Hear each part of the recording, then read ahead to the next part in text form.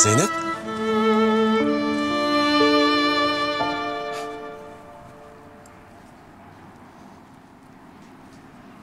Ee, baban nasıl?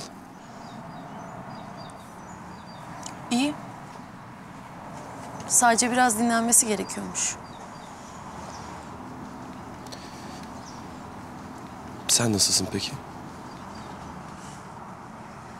Ben Ben gidiyorum. Yani babam da artık daha iyi nasıl olsa. Nasıl yani? Bu akşam mı gidiyorsun? Evet.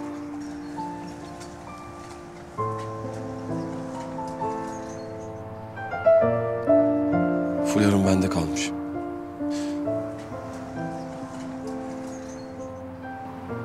Geri vermeyeceğim. Madem gidiyorsun. Bu da senden bana hatıra kalsın.